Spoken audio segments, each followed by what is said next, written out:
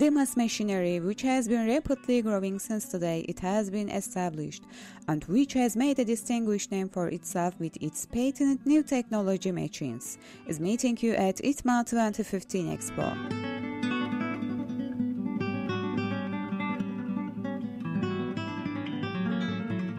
We are in Hall 10 number 102 at ITMA 2015.